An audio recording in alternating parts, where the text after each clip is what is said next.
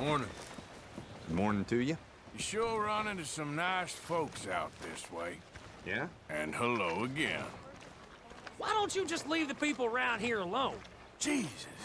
Just can't get rid of you, can I? Well, same to you. Man, And this country's double. going to blaze. Please. Go away. Then come on then. Just everyone relax. Hope